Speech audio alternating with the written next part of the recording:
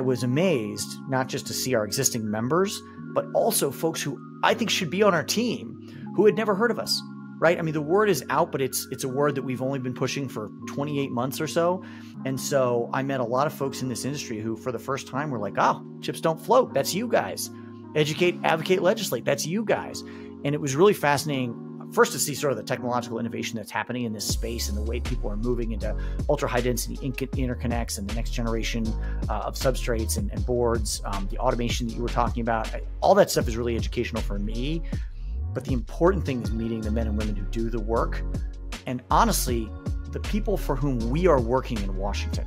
You know, it's it's it could be a little detached sometimes to see a LinkedIn post or to see me on uh, you know a podcast and say, oh okay, well these guys are these guys are active in DC. There's another Beltway bandit.